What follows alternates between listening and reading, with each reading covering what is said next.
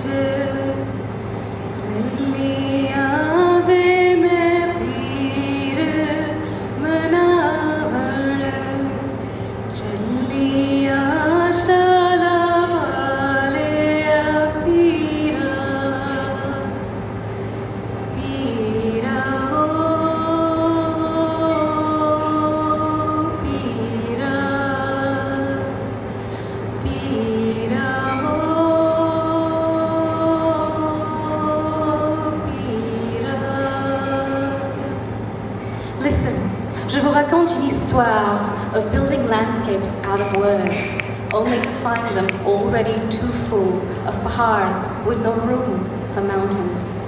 At first. But push on language just so, and it will give. Juste un petit peu, but just enough. And so I sing my song of desert saints summoned by bells hung from a camel's throat in a language of fertile river run lands.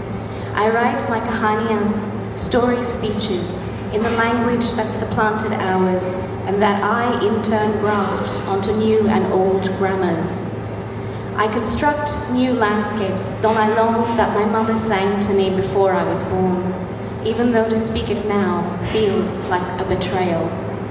My texts are not in one tongue or two, but trois, char, five, as many as I can fit into this one mouth.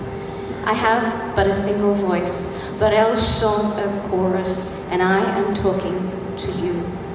Thank you.